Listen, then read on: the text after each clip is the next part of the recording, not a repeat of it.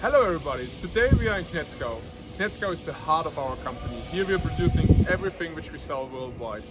We have here corrugated pipe, smooth pipe for any kind of application. So, come on, let's have a look at the MLCP production, just follow me.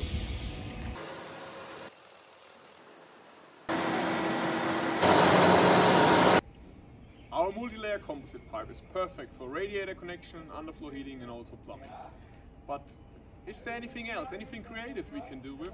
My brother's fiance had an idea. Hello.